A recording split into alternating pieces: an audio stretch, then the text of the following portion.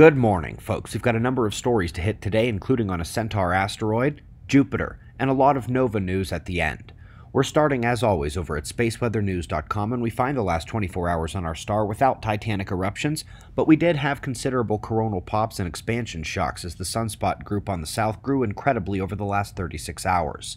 What began as a small, but spreading active region developed dozens of spots before separating to stability just as another group of umbra was born to its north, actually a second sunspot group in the region, and they're departing our view. Solar wind has been calming.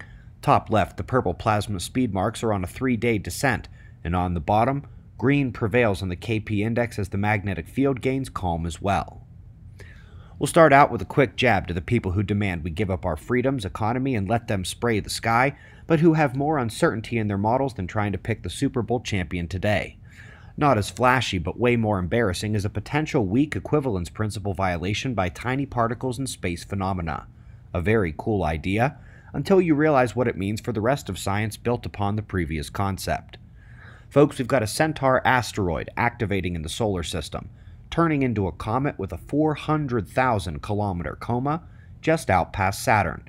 The Centaurs in our system are all between Jupiter and Neptune. Up next, We've got a serious challenge in a serious journal. Jupiter's constant auroral curtain cannot be explained simply with the rotation of the magnetic system. It is almost as though there must be a permanent connection to the Sun through the interplanetary magnetic fields or something. If going back to 1990 science is too difficult for the few dozen NASA folks watching this morning, why not start with your recent press release on the sprites and elves at Jupiter? Consider what we know about their role in Earth's global electric circuit and ask what that must look like on Jupiter.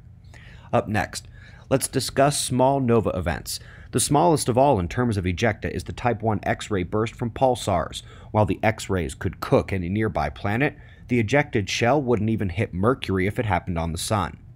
One step up from that is the dwarf nova. Some believe they actually happen in the accreted material disk, but either way, these are indeed what their name suggests dwarf nova.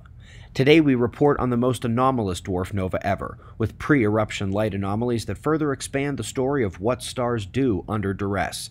And now that we've hit the tiniest nova events, and since we don't want to charge all the way up to supernova destruction of the star, let's go to the middle recurrent nova and classical nova. Gorgeous shots showing ejecta at a distance that pretty much matches the outer Oort cloud range in our system.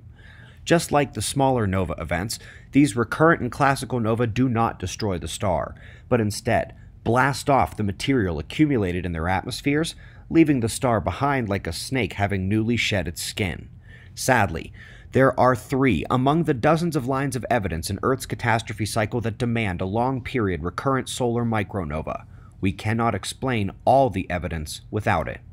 Pre order of our book on the rebirth of catastrophism will be next month. We greatly appreciate your support. We've got wind maps and shots of our star to close, and of course, we'll do this all again tomorrow, right here, but right now it's 5:30 a.m. in the new Valley of the Sun. Eyes open, no fear. Be safe, everyone.